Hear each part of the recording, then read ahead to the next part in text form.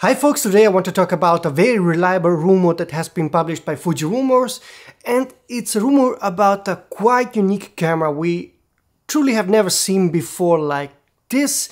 It will be a sort of digital version of the very famous panoramic cameras from Fujifilm, the TX1 and the TX2. Those were film cameras and now it looks like that Fujifilm will make a digital version of that that will arrive in 2028.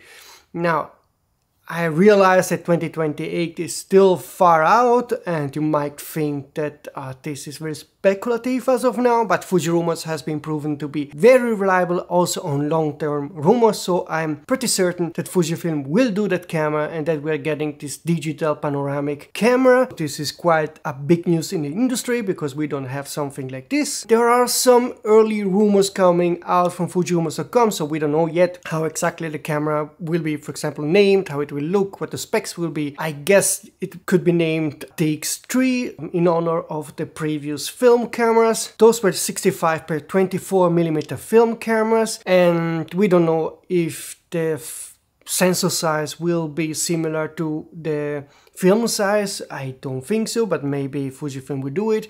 But Fuji Rumors reports that Fujifilm still hasn't decided if they will use the Bayer sensor tech or the X-Trans sensor tech on this camera. If they are going for the Bayer sensor, they will basically use the GFX sensor and crop it. If they will decide to use the X-Trans sensor, then they will basically use their current APS-C sensor technology at double the sensor area so that you get the panoramic image. So basically you will have two APS-C sensors side by side. So let me know in the comment system what you would love to get. But uh, that's all we know so far. So um, I, the rest is purely speculative. So we don't know, for example, if this will be a fixed lens camera or interchangeable lens camera, what the sensor size will be. And I really don't know also if there is a market for this because this is going to be an expensive model. I don't know if there are many people interested in getting a panoramic camera. Most of the people when they take panoramic shots, they just have the full frame or medium format camera and then make the crops and that's good enough. Also seeing the resolution of, the, for example, the Fujifilm GFX cameras, you can do that without any problem. So I doubt this will be a mass seller. I doubt this will be a huge success but sometimes companies do certain niche cameras also for prestige uh, to get some um, interest uh, from uh, reviewers, influencers, and to make a statement to say like we can do this. So this might be helpful as a sort of uh, beacon project to drive more interest in general in the Fujifilm uh, cameras.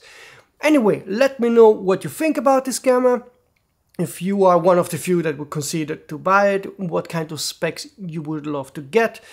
And as soon as Fuji Rumors will share some more details about this camera, I will make a new video, but um, one important reminder, a camera that is really coming soon from Fujifilm is the XM5 entry-level camera, so this will have also the film simulation dial of the X-T50 and in probably in early 2025 we will get the first fixed lens medium format camera from Fujifilm. So as usual Fujifilm does a ton of cameras every year so there is going to be an exciting time if you love Fujifilm cameras. Folks, um, if you like this video, like the YouTube video so that I get some boost in the YouTube algorithm. Also subscribe to the channel and see you soon.